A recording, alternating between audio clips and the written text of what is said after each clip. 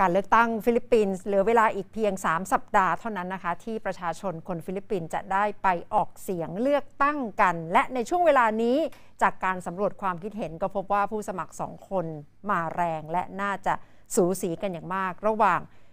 ลูกชายอดีตประธานาธิบดีเฟอร์ดินานด์มาร์กอสจูเนียร์และรองประธานาธิบดีคนปัจจุบันค่ะ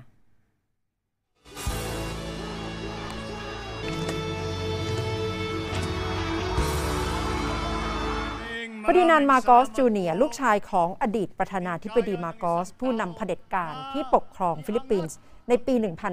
1965 ถึง 1986 กำลังมาแรงอย่างมาก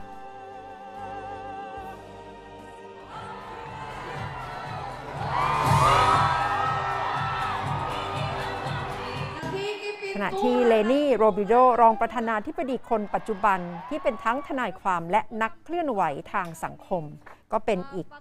ผู้เข้าแข่งขันที่มาแรงค่ะ โรเบรโดและมาร์กอสเคยแข่งกันมาแล้วในปี 2016 ในการเลือกตั้งรองประธานาธิบดี และในครั้งนั้นโรเบรโดชนะมาร์กอสมาแล้ว ปีนี้ผู้สมัครทั้งสองคนกำลังขับเคี่ยวกันอีกครั้ง เพื่อชิงตำแหน่งประธานาธิบดี และต่างฝ่ายต่างใช้โซเชียลมีเดียเป็นอาวุธในการต่อสู้ค่ะเฟอร์ดินานด์มาร์กอสจูเนียร์ ใช้ TikTok อย่างมากนะคะ โดยเฟอร์ดินานด์มาร์กอสจูเนียร์หรืออีกชื่อก็คือบองบอง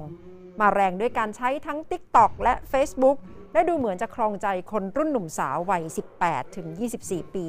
และคนกลุ่มนี้ก็เป็นกลุ่มที่จดจำประวัติศาสตร์ในช่วงที่เฟอร์ดินานด์มาร์กอสผู้เป็นพ่อปกครองประเทศ ภายใต้กฎอายการศึกถึงสองทศวรรษไม่ได้ กลยุทธ์ของบองบองย้ำผลงานของพ่อในอดีต และความรักความผูกพันระหว่างเขากับพ่อ ผู้เชี่ยวชาญด้านฟิลิปปินส์ประเมินความเป็นบองบองค่ะเออเขาเรียกบองบอง เพราะเขาไม่รู้ประวัติของบองบองเนี่ยมาก เขาไม่รู้ว่า เออมีลาเขาทำอะไรไว้กับประเทศบ้าง ช่ไหมฮะเพราะว่าในในในเรื่องการเรียนการสอนอะไรอย่างนี้ในมหาวิทยาลัยก็ไม่ได้เอ่ยชื่อถึงมาโกสว่าอะไรแต่อะไรแบบนี้ เขารู้แต่ว่ามี people power ซึ่งทำให้มาโกสออกนอกประเทศไป แต่เขาชื่นชมมาโกสผู้เป็นบิดาเนี่ยมาก เพราะว่าเขาเป็นคนเก่งนะเป็นคนพัฒนาประเทศอะไรแต่อะไรแบบนี้แต่เขาไม่สนใจว่ามาโกสนี่ทำอะไรให้กับประเทศบ้าง แต่คนตั้งแต่อายุ 28 หรือ 30 ขึ้นไปเนี่ย เขาเห็นนะคะเขาเห็นว่าตอนมาร์กอสประกาศกฎอัยการศึกเนี่ยคนเสียชีวิตไปเท่าไหร่จับจับผู้ต้องขังเท่าไหร่นะทารุณโหดร้ายยังไงบ้าง อันนี้เขาทราบค่ะ เพราะฉะนั้นคนรุ่นนี้จะเป็นคนชั้นระดับกลาง และอีกอย่างหนึ่งที่คนนิยมบองบองมาร์กอสเนี่ยนะคะเขาใช้โซเชียลมีเดียเยอะมากนะคะอย่างเช่น TikTok Facebook อะไรพวกนี้เออแล้วก็ เขาสามารถที่จะประชาสัมพันธ์ตัวเขาเองทางนี้ได้ ขณะที่เลนี่โรบิโดปรับแนวทางการหาเสียงจากการใช้สีเหลืองเป็นหลักมาเป็นสีชมพู เพื่อแสดงถึงความโอบอ้อมอารี ความห่วงใย และแม้การใช้โซเชียลมีเดียจะไม่ได้รับความนิยมมากเท่ากับบองบอง แต่ก็มีกลุ่มที่ให้การสนับสนุน และน่าจะเป็นกลุ่มที่จดจำบาดแผลจากยุคอดีตผู้นำเฟอร์ดินานด์มาร์กสได้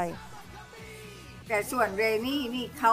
เขาจะไม่มีเงินที่จะไปประชาสัมพันธ์ตัวเขาเองอย่างนี้ แต่เลนี่เนี่ยนะคะมี volunteer หรือว่าอาสาสมัครกลุ่มต่างๆ เยอะแยะมากมายนะคะ NGO นะคะศาสนจักรนะคะแล้วก็หลายๆ กลุ่มด้วยกันนะคะกลุ่มปาร์ตี้ลิสต์กลุ่มสิทธิมนุษยชนนะคะกลุ่มที่เคยหมายถึงเคย เคยถูกมาร์กอสทำร้าย พ่อแม่พี่น้องอะไรพวกนี้นะค่ะ แล้วก็กลุ่มชนชั้นกลางก็จะศึกษาจากประวัติศาสตร์นะคะจากประวัติศาสตร์ หลังจากมาร์กอสไปแล้วอย่างนี้ค่ะ เดิมนี่เขาจะก็จะใช้สีสีเหลืองนะคะซึ่งเป็นพรรค Liberal Party นะแต่ตอนนี้เขาก็มาใช้สีชมพูใช้สีชมพู สีชมพูเป็นชื่อของเอเป็นแค่เป็นสัญลักษณ์ของพรรคที่มีความเขาเรียกอะไรฮะมีความเมตตา มีความกรุณานะคะแล้วก็ good governance หรือว่าความโปร่งใสในในการปกครองประเทศอะไรแบบนี้นะและจะช่วยทุกคนในสังคมนะคะให้อยู่รอดได้ในช่วงโควิดอย่างนี้นะคะเพราะฉะนั้นในช่วงรองประธานาธิบดีนี่เขาช่วยเกี่ยวกับ social service หรือเขาเรียกบริการทางสังคมนะคะเยอะมากมาย แล้วสิ่งที่สำคัญเขาเป็นคนเก่งหนึ่งเขาจบเศรษฐศาสตร์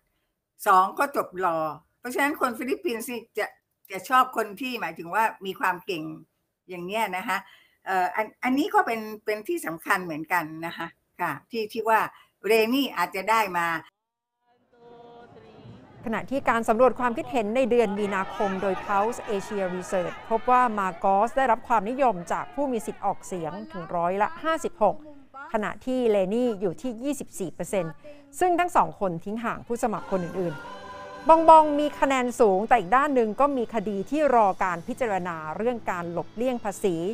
แต่ในช่วงเวลานี้คะแนนนิยมต่อบองบองเห็นได้ชัด ว่ามาจากกลุ่มผู้มีรายได้น้อย และจากทางเหนือของฟิลิปปินส์ และการที่ซาร่าดูเตอร์เต้ นายกเทศมนตรีเมืองดาเวาลูกสาวของประธานาธิบดีดูเตอร์เต้ที่กำลังจะหมดวาระ ลงสมัครเป็นคู่ร่วมกับบองบอง ก็ยิ่งทำให้เห็นได้ชัดว่าคงจะเป็นการผนึกฐานอำนาจ ระหว่างผู้สมัครทั้งสองนะคะ ผู้เชี่ยวชาญวิเคราะห์แนวทางนโยบายของมาโกสจูเนียและเลนี่ค่ะบองบองมาโกสมา บงบงมาโกสนี่ก็จะดำเนินนโยบายตามดูเตอร์เต้นะคะเช่น การค้ายายาเสพติดอะไรอย่างเงี้ยนะคะนโยบายที่สำคัญอย่างเช่น นโยบายต่างประเทศที่ค่อนข้างที่จะไปทางจีนมาก คือพยายามที่จะ pro จีน คือนโยบายต่างประเทศของเขาเนี่ยนะคะส่วนนโยบายบิวบิวบิวหรือว่า roll off roll on เนี่ยอันนี้มีมาตั้งแต่ president Aquino นะคะแต่เขาเพิ่งมาเปลี่ยนชื่อเป็นวิววิววิวซึ่งอันนี้เรนี่ก็มีอยู่แล้วนะคะตาม president ตามที่ president อากิโนที่สามได้ได้ดำเนินการไว้เขาก็จะดำเนินการต่อจากบิดาของเขาคือมาโกสเนี่ยนะคะที่เขาเคยสร้างความเจริญไว้ช่วงหนึ่งนะะแต่เขาไม่พูดถึงประวัติของบิดาเขาเลยนะคะแต่สิ่งที่ตามมาก็คือก็จะจะเอาโครนี่คือพักพวกบริวารเนี่ย เข้ามานะคะทั้งดูเตเต้ด้วยทั้งของมาโกสด้วย อันนี้คือประเด็นสำคัญมากนะคะเพราะฉะนั้นมันจะเกิดการผูกขาดขึ้นมา ในสังคมฟิลิปปินส์นะคะทั้งทั้งการค้าการลงทุนและทุกสิ่งทุกอย่าง แต่ถ้าเรนี่มานี่เรนี่เขาไม่ใช่แบบนี้นะคะก็เป็นพวกการเมืองแบบใหม่นะคะเพราะฉะนั้นเขาจะช่วยเหลือทุกคนนะคะโดยไม่ไม่ได้มีสมัครพรรคพวกแบบแบบกับบองบองมาโกสค่ะ ด้านหนึ่งมีข้อสังเกตว่ายิ่งใกล้วันเลือกตั้งยิ่งได้เห็นปฏิบัติการข่าวสาร เผยแพร่ข้อมูลเท็จและการกล่าวหากัน ซึ่งกลุ่มที่สังเกตการการเลือกตั้งยิ่งต้องระแวดระวัง และเพิ่มการตรวจสอบกันอย่างมากในช่วงเวลานี้ค่ะ วันที่ 9 พฤษภาคมค่ะ จะเป็นวันที่จะตัดสิน เพราะว่าจะมีผู้มีสิทธิ์ออกเสียง ไปใช้สิทธิ์กันได้ถึง 65.7 ล้านคน เป็นวันตัดสินนะคะว่าจะลงคะแนนให้ใครค่ะ